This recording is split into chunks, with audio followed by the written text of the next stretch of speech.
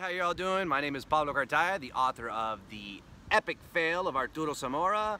I'm going to take you on a little bit of a journey through the places that inspired the book. So, come on in. Stories about, uh, you know, gentr fighting gentrification, there's poetry, there's first love, there's a lot of Cuban food. Got a lot of Cuban food. So I want to take you around and just show you some of the spots that inspired it. Here in Miami, we always start with cafecito.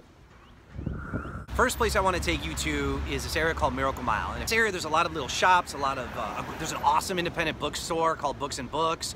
And also, um, in the novel, there's La Cocina de la Isla, which is the restaurant the family owns. Well, I'm going to show you a little something where the restaurant drew a lot of inspiration. Check it out so you can kind of get a flavor for it. And hopefully, hopefully the chef is here too. How you doing? How you doing? This is the number one chef in Miami, guys. You have to. That's why I love you. All right, so now let's go and check out uh, City Hall.